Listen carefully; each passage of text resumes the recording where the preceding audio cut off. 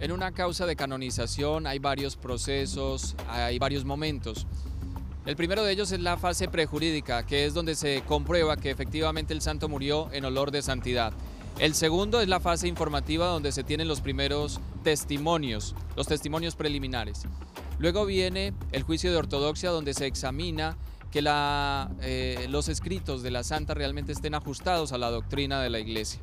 Todo eso se ha cumplido perfectamente en la Madre Laura Montoya.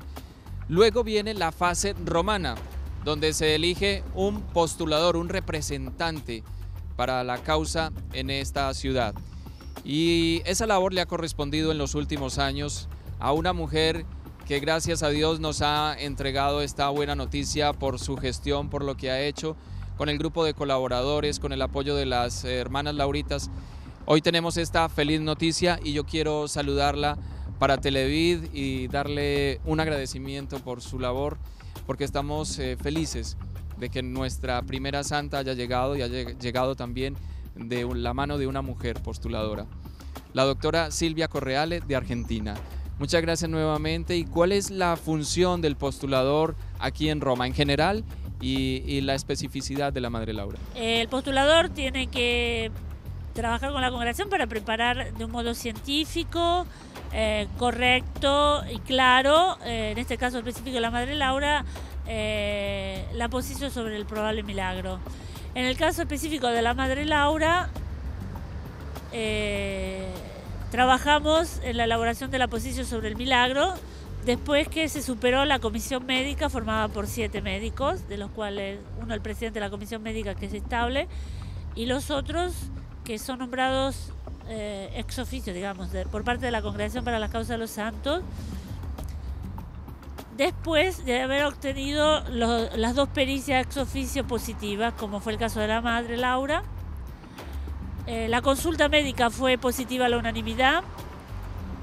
Después eh, se trabajó sobre la posición del probable milagro, se entregó la consulta teológica, la consulta teológica formada por cinco miembros eh, decidió positivamente la unanimidad la relación causal entre la intercesión o la oración de intercesión a la Madre Laura y la curación inexplicable científicamente. Después pasó a la evaluación de la ordinaria de cardenales y obispos, los cuales también a la unanimidad reconocieron eh, la curación inexplicable por intercesión de la Madre Laura.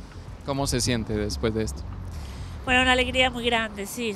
Verdaderamente lo considero un don de Dios, eh, mucho más grande de lo que uno pueda imaginar, porque sabemos de las limitaciones humanas que uno puede tener y, y sin embargo el Señor verdaderamente nos, nos fue iluminando, nos fue acompañando. Las hermanas Laurita rezaron muchísimo, mucha gente rezaba desde Colombia. Toda Colombia. Sí para que el Señor nos fuera acompañando y bueno, a, los que tenían, hacia los miembros de la comisión médica, que a los miembros de la comisión teológica, que a los padres cardenales y obispos, que el Señor los iluminara para que bueno, vieran la verdad de los hechos y fueran dando un juicio basado sobre la verdad.